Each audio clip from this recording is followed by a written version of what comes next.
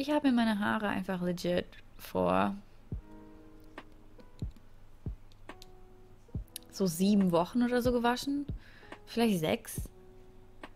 Aber die werden halt nicht fettig. Ich habe diesen. Findet ihr, das sieht fettig aus? Diese Haarsträhne hier. Die ist doch nicht fettig, oder?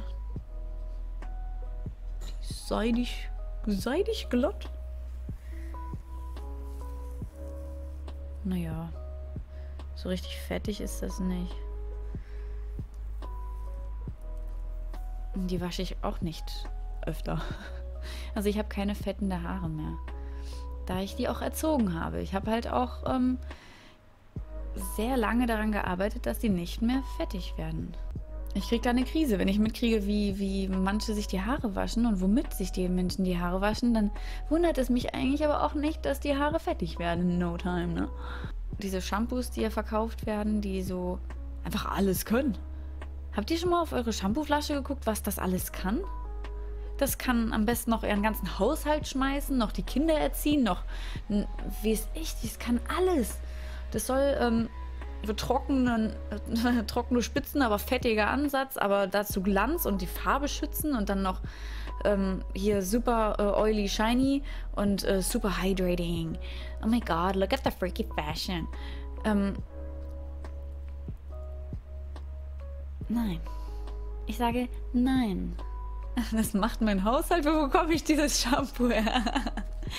ich habe gefühlt, gefühlt äh, kann das Shampoo alles. Das, das, das, das ist nicht mehr nur da, um deine, ha deine, deine Haare zu reinigen. Das Shampoo ist lange nicht mehr dafür da, um, um Haare sauber zu machen, sondern es muss so viele Dinge können. Und das ist so, hä? Warum? Für was? Moment mal. Was soll ein Shampoo können? Ich will es jetzt im Chat. Ich möchte lesen, was glaubt ihr, soll ein Shampoo können? Eure Erwartungshaltung an ein Shampoo. Haut mal raus. Ein Shampoo muss die Haare sauber machen können. Danke, Lea. Gut riechen. Fair enough. Wenn du Glück hast, riecht das sogar gut. Ja, Kinder erziehen. good one. Vivi Lou, good one. I give you the credit for that one. und das Haar pflegen. Falsche Antwort, Keksmonster. Nein. Nein, nein, nein, nein, nein, nein, nein. Ein. Ein Shampoo soll bitte, bitte nur die Haare sauber machen. Von, von Dreck und Fett befreien und sauber machen. Nur sauber machen. Ähm, es gibt keinen Grund, die Kopfhaut zu pflegen. Grundsätzlich nicht. Die Kopfhaut pflegt sich von ganz alleine. Deswegen werden die Haare fettig. Weil der Grund, warum die Haare fettig werden, ist, äh, das ist ein Schutzmechanismus. Äh, die Kopfhaut braucht einen gewissen mini, mini, mini Anteil, um sich selbst zu schützen vor sämtlichen Umwelteinflüssen und, und, und. Übertreibt das Fett, dann haben wir wieder ein ganz anderes Problem.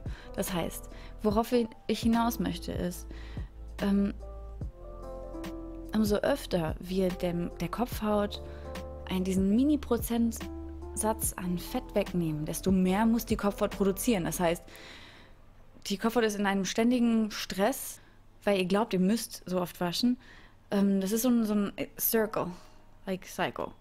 Ähm, dann, dann wäscht man die Haare und dann braucht, kommt diese, dieser Fettanteil hinzu und ihr nehmt den das wieder weg.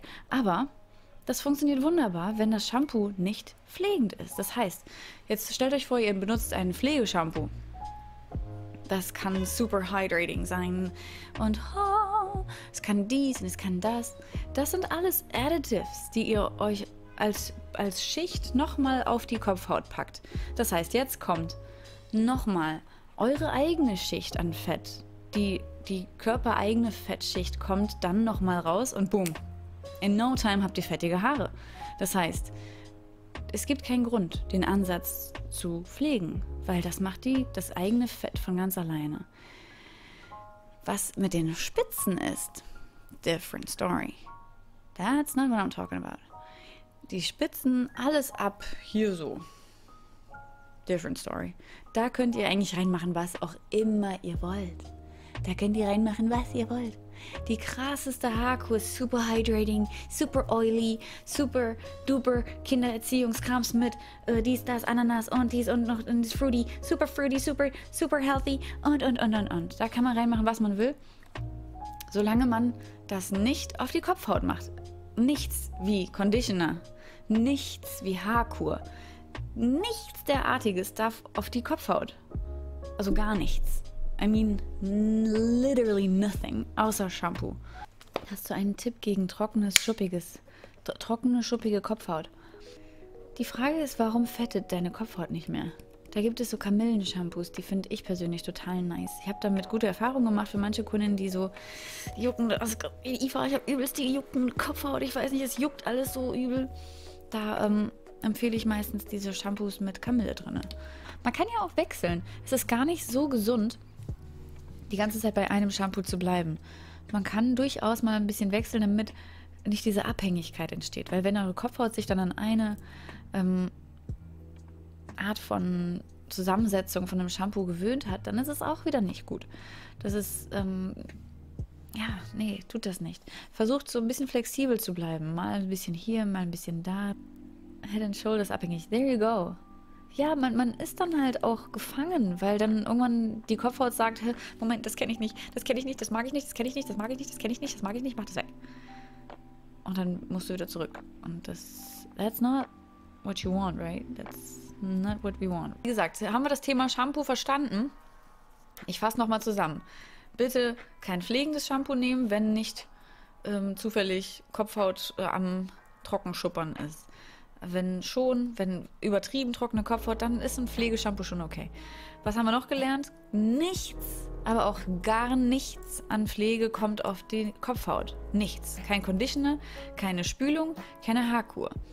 Alles, was ab hier so geht, darf gekurt werden. Also alles, was Spitzen ist, was nicht die Kopfhaut be berührt. Das heißt, Haarkur wird so aufgetragen, Leute. So und nicht so. Alright? You get what I'm saying? You get what I'm saying? That's how you do it. Und dann die Abstände so krass wie möglich. An Wochenenden vielleicht mal nicht waschen, damit die Kopfhaut merkt so, hold on, okay.